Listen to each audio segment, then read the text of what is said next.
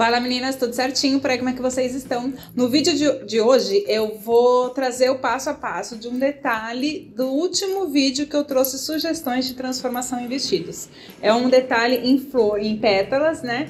É um detalhe assim na alça de um vestido que eu fiquei realmente apaixonada quando encontrei aquela referência para mostrar para vocês. E aí eu quis já trazer é, o passo a passo desse, desse acabamento, dessa, dessa alça, né? Dessas flores. Como é que faz para fazer aquele franzidinho das pétalas e tudo mais. Ela é um pouco parecida, para quem faz fuxico, para quem está acostumado com artesanato e faz fuxico, é um pouco parecida, porém a questão do franzido, do acabamento embaixo é diferente. Então por isso que a gente corta ela inteira e vocês vão ver já já no passo a passo. Então vamos lá, porque eu tô apaixonada. Eu vou mostrar só o passo a passo e vocês adaptam, se vão colocar, vocês decidem se vão colocar na alça de um vestido, de uma blusa, um detalhe da peça, enfim. Aí deixa a criatividade fluir e coloca do jeito que vocês quiserem. Mas vamos lá para o passo a passo. Bom, então aqui tá um retalho, né, de tecido que eu vou usar para fazer as pétalas e aqui tá um pequeno molde. Reparem que ele tem 5 centímetros de largura e 7 centímetros de altura. E aqui ele tá dobrado nessa parte de baixo. Então agora eu venho aqui e corto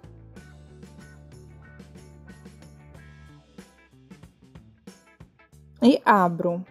E aqui já tá o molde da nossa pétala. Vou posicionar no meu tecido. Vou riscar e cortar com uma margem de costura de 1 centímetro.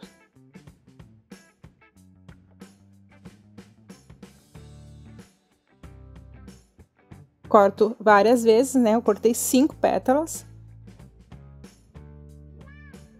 E agora a gente vai costurar com ela fechada. É aqui que é o diferencial das flores de fuxico, né?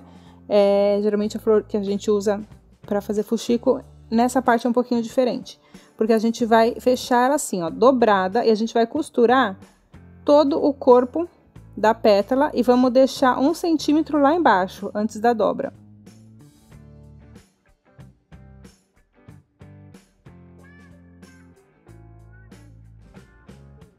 Então, a gente costura daqui até aqui, deixando um dedinho aqui, um centímetro, né? Tanto de um lado como do outro. Que é para poder virar essa pétala depois.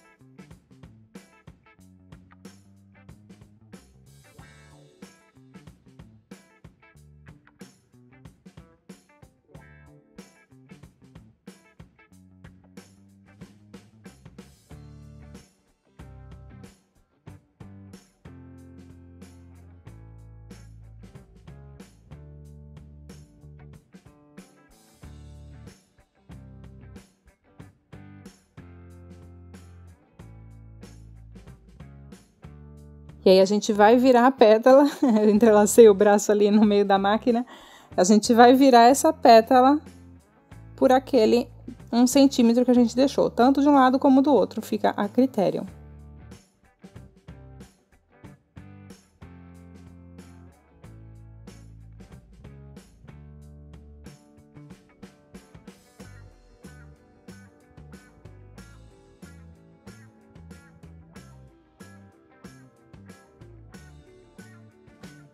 Aqui é um pouquinho mais delicadinho, né? Mas se você quiser usar algum objeto para te ajudar a virar, também tem essa opção.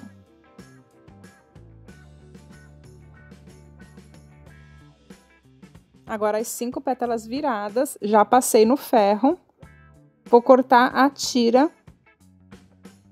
Vou cortar uma tira de mais ou menos 3 centímetros de largura. E vou passar uma costura no pedal ali mais ou menos da máquina, ou de meio centímetro ou de um centímetro, para fazer o cordão. E depois a gente vira. E aqui nas pétalas eu vou passar uma costura de um, deixando um centímetro aqui. Deixando aberto. Agora eu vou passar um grampo no meu cordão para facilitar e vou passar dentro desse um centímetro naquela parte que a gente deixou aberta em todas as pétalas. Mesma parte que a gente deixou aberta para desvirar é o que a gente vai usar para passar o nosso cordão. Vai ficar como se fosse a nossa canaleta. Como se fosse não, ela é a canaleta de cada pétala. Aqui o cordão está um pouquinho mais grosso. A gente passa com calma, passa com cuidado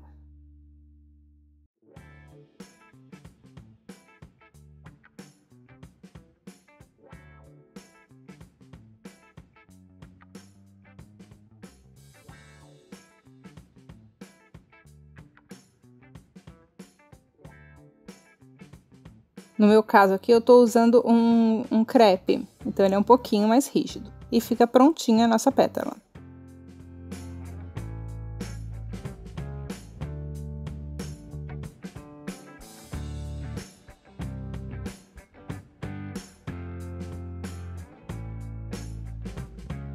E aí, o que vocês acharam? Muito fácil, né? Muito fácil, ainda deixei aqui separadinho. Olha só.